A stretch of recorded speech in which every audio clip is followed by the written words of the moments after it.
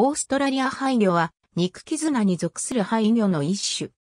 オーストラリアハイ魚目オーストラリアハイ魚科に属する唯一の原生種とされている。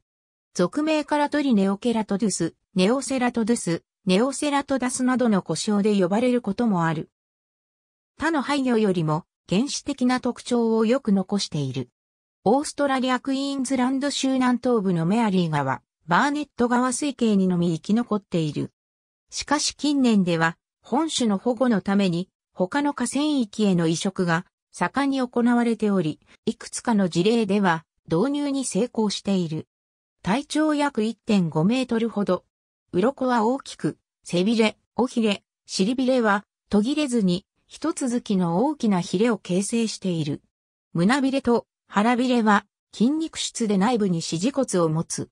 支持骨の数よりもヒレを縁取っているヒレ状の数の方が多い。アフリカ産廃魚の肺が2質あって複足に位置しているのに対し、オーストラリア廃魚の肺は部分的にしか2質に分かれておらず、消化管の肺側に位置する。肉食性で小型魚類、海類ビなどを捕食する。ただし、水生植物を食べるという報告もある。プロトプテルス等とは異なり空気呼吸に対する適応が低く、酸素補給の多くをエラ呼吸に頼っている。そのため干ばつ等には弱く、空気中ではすぐに死んでしまう。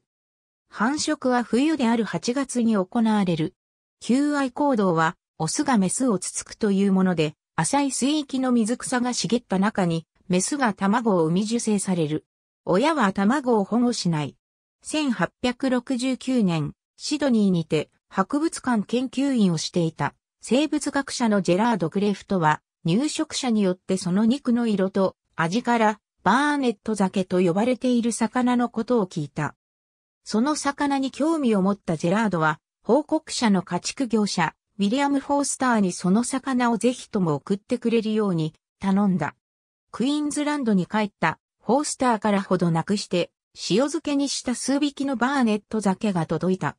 種樹の特徴からクーレフトはこの魚が中世代のサラタダスの生き残りであると考え、首相名をフォースターに懸命してサラタダス・フォスターイとして記載した。